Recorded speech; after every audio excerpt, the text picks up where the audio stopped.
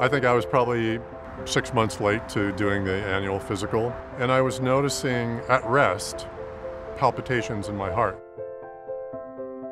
They all said the same thing. You got a severe heart murmur, left unattended, it does lead to heart failure. You should have it surgically repaired sooner than later. Jay was um, complaining of mild symptoms and uh, had been diagnosed with severe mitral valve regurgitation. Most of the time, people don't have severe symptoms, and uh, once they are told that they need cardiac surgery, it comes as a, as a shock to them.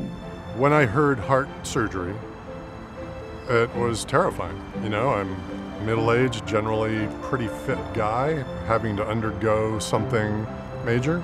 It, it was scary.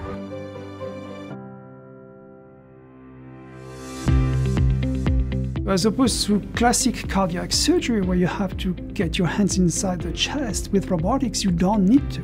What is required is just small holes to um, introduce sophisticated instruments that move inside the chest like the human hand and can be telemanipulated from, from outside.